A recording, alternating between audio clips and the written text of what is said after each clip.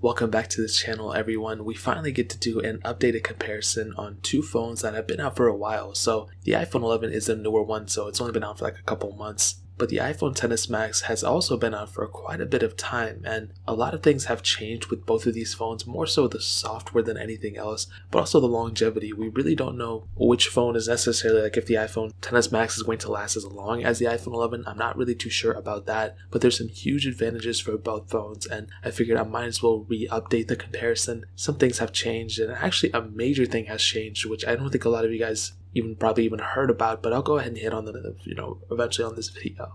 Now, one of the major ones that have changed would definitely be the price tag. The iPhone 11 on Amazon is still selling for about $700. It's still, you know, pretty expensive. But the iPhone XS Max for that 256 gigabyte model, which is a higher top tier model, and actually the highest storage model available for the iPhone 11, you can pick that up on Amazon for the XS Max for about $680 right now. And if you're watching this like a month or two later, it might be even cheaper than that. So if you want to pick that iPhone XS Max up for that price or an iPhone 11 for that retail price, I'll link those down in the description below on Amazon and you can get them from there and help support the channel at the same time. But looking at both these phones, starting off with the front, the iPhone 11 has that 6.1 inch liquid retina IPS panel. It's 828 by 1792 and it's a pretty good panel at the end of the day. I feel like I don't think if you're you know, using it, if you're really using it day to day, I don't think you're going to feel like you have an outdated panel. You're not going to feel like you have an ugly panel or anything like that there may be some cases where you're like, oh man, like I really wish I had like an OLED display, especially with iOS 14. I feel like it's going to bring some cool little things with OLED displays that could potentially turn your display into an always on display, who knows?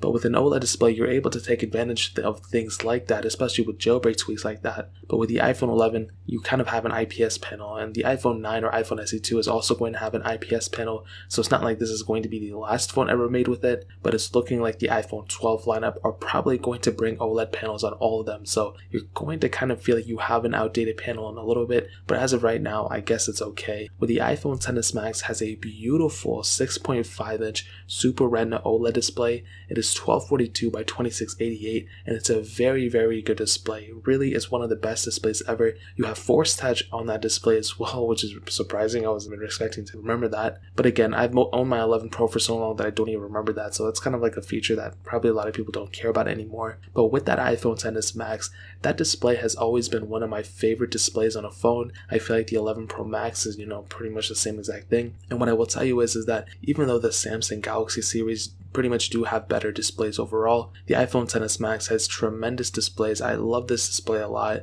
And if I were you, I would 100% recommend picking up, you know, the iPhone XS Max just based off the display. It's not an end all be all though. Like I said, if you have an iPhone 11 display, you might not even feel like you probably even care about it to be honest. But the iPhone XS Max if the rumors are true and if iOS 14 is going to be a pretty big refresh, and if we do get that always on display, which we might get, that's going to be a cool advantage you're going to be able to take on an iPhone XS Max that you won't be able to get on an iPhone 11. So that pretty much covers it up on the front. They both have lightning ports on the bottom, no headphone jacks on both. If you look on the back, they have glass backs on both devices. Where the iPhone XS Max has a dual camera setup with a telephoto lens, the iPhone 11 has a dual camera setup with the ultra wide sensor. So a little bit of a switch up right there. It's not an end all be all. It's really like more or less of what you want. I feel like maybe iPhone 11 might be the one I would go for just because the ultra wide sensor I kind of like more now. I used to like the telephoto lens, but now I kind of like that ultra wide sensor more. So to each their own. There's not really a clear winner on the camera side, but but I'll hit on that in a minute. But both phones have IP certification as well. IP68 does water resistance, so you can go up to two meters of water for 30 minutes. So that's really really cool. And in terms of the outside, that really pretty much covers it. Obviously, in the hand, I feel like the iPhone XS Max does feel more premium, especially when you're holding them side by side. The iPhone 11, like I've said, been saying before, I've been saying since the XR, it just kind of feels like the 6S Plus, but with glass on the back. It just kind of feels like that in the hand. Where the iPhone XS Max feels more like an iPhone 8 Plus, you know, with a full-on display and everything. And the iPhone XS Max definitely feels more premium, and it's definitely heftier and bigger as well than the iPhone 11. Like I said, it's not an end-all be-all, but that is something to kind of consider. So that pretty much covers it up in terms of the front. Now, hitting on the software, the iPhone 11 came out with iOS 13. It's able to get iOS 13.3 on it, and you know it's going to last for many, many more versions of software. It's not ending anytime soon. With the iPhone XS Max started off with iOS 12, it is upgradable right now to iOS 13.3.1, one, and it's probably, you know, realistically, maybe it'll stop, you know, a year before the iPhone 11, but that's still many, many more years down the line, or it could potentially last as long as the iPhone 11. I'm not really too sure. It's kind of still early on in its life cycle. Some people are saying the 6S and that lineup and the SE, those phones are getting iOS 14, which they might. We're just gonna have to wait and see. I mean, honestly, if I had to say it, maybe the iPhone 11 will last longer, but like I said, it's kind of too early on to tell. However, what I will say, and one of the biggest changes that have happened since you know the last comparison I did of these, would definitely be that jailbreak. So the uncovered jailbreak came out for the iPhone 11 and the iPhone XS Max, which is technically the first jailbreak for the iPhone 11. And if you're between iOS 13 and iOS 13.3, you are able to jailbreak your devices without using a computer, without anything like that. And that's one of the biggest, coolest advantages for these devices. The jailbreak is very fast, and that jailbreak is getting updated all the time. So by the time you're watching this, 4.3 might be out, 4.4 might be out, and like it's crazy how fast that jailbreak tweak is getting updated. And I think at the end of the day, if you're getting a phone like these, it would be so much fun for you to jailbreak it. It's not an end all be all, but that is a pretty big advantage for picking up an iPhone XS Max or an iPhone 11 now, just because of that jailbreak option. So it's not the end of the world if you don't do it or whatever, but it is a cool little thing that has happened and a one of the biggest changes that have happened in terms of both of these phones since the last comparison I've done. So that really pretty much covers it up there. Now hitting on the performance, like I said, not much has changed. They're both pretty much the exact same performing devices since before. The iPhone XS Max has the Apple A12 Bionic chip, a hexa-core CPU, and there's three different models: a 64, 256, and 512 gigabyte models,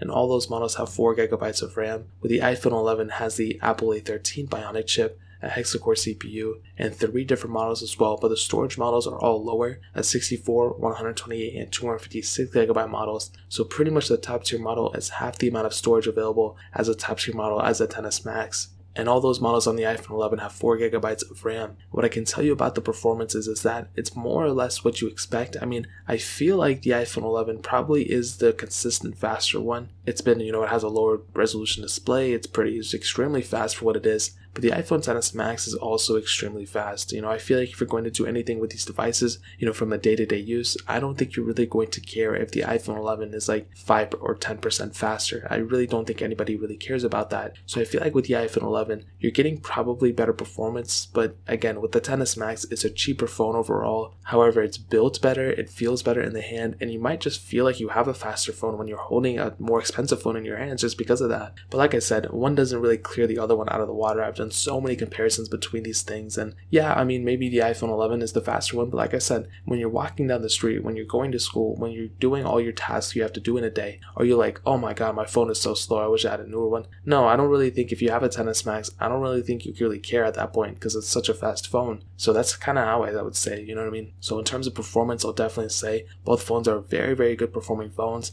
but the iPhone 11 might have the edge. It might just be a little bit faster than the iPhone XS Max. So I think that really pretty much covers it up there. Now hitting on the cameras, both phones have dual camera setups. The iPhone XS Max has a 12 megapixel wide angle lens and then a 12 megapixel telephoto lens. The iPhone 11 has a 12 megapixel wide angle lens, then a 12 megapixel ultra wide sensor. On the front, 7 megapixel on the XS Max, you can do 1080p at up to 60 frames. On the iPhone 11, 12 megapixel sensor, where you can do 4K f 60 frames per second, which is super intense. That is one of my favorite things about the iPhone 11. That camera on that thing is just so killer, not even in terms of quality, but that front camera too. Like that's an automatic W on my eyes. Now on that back camera, really, it's more or less what you expect. I feel like, you know, I don't really think one blows the other one out of the water again. I feel like with the iPhone XS Max, you know, with that telephoto lens, it does a pretty good job. You know, you can do 4K at 60 frames on both these phones. And I feel like with the XS Max, it does a pretty good job at what it can. You have optical image stabilization on both lenses, where on the iPhone 11, you do only have OIS on that first camera on the wide angle lens. And like, like I said, I don't think one blows the other one out of the water. The iPhone 11 is a very good camera sensor as well. You have portrait mode and all those cool little things. And I think at the end of the day, I think Apple did a really good job of both these cameras. And I've done camera tests between these two. And again, like I really didn't see that big of a difference but to each their own. I mean, if you can get an iPhone 11 for a good price or iPhone XS Max for a good price, I really think the camera quality is going to be the same. I don't think you're going to wish you had upgraded to a different phone, to be honest. So that pretty much covers it up there. Now, ending it off with the battery life, the iPhone 11 has a 3110 mAh battery. The iPhone XS Max has a 3174 mAh battery. Both have wireless charging, which is really cool. But between both of them, I would probably say the iPhone 11 has the better battery life between them for sure. You have a low resolution panel. It's technically you know, not a, as big of a display as the iPhone XS Max. And with those two things combined, I just feel like the battery is more optimized for a phone like that. And because of those three things, I don't know, maybe it's like two things. I would definitely say that the iPhone 11 has the better battery life between both these phones and uh, probably one of the better iPhone batteries, probably below the 11 Pro Max.